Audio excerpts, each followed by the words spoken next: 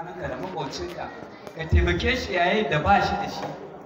In- in kukan shi ka zama mai share hawaye shi. A duk sanda ka ji kukan sa kada ka bari ya kuka matuƙar kana da yadda za ka iya Kira shi. Hakan nan addinan nan namu haka suke. Duka faɗin Najeriya addini su ne waɗannan guda biyu. Muslim. Christian. biyar. Duka al'umman mu mu Shi shiya da gidan sallau saura ne kawai. To ya zama wajibi a kawo kanmu. mu yan uwa musulmi da kuma yan uwa christian mu zama masu kare haƙƙin addinoninmu. Kada na bari kada ku bari a cutar da addini na saboda abin da ya cutar da addini na a gobe zai dawo ya cutar da naku. Idan na kalla ana cutar da addinin ku ni ban ɗauki matakin karewa ba gobe zai dawo ya cutar da nawa addini. To don haka da mu da duka abu guda ne Allah ya yi mu. Muna kuma cikin ƙasar mu guda ɗaya asali mafi yawan mu da muke iyalan mu guda ɗaya da ku. To wajibin mu ne mu zama masu kare haƙoƙin junan mu da kare amana a tsakanin mu a koda yaushe. Haka yasa na zaɓi da su don na ce shi ɗan isha gudanar da waɗannan abubuwa da ake gudanarwa a wannan lokaci insha Allah. Ki na waƙa na shi ne ka'in mahadi tare da za ɗan Maryamu. Ka'in mahadi tare da Yesu za su zo ɗan Maryam.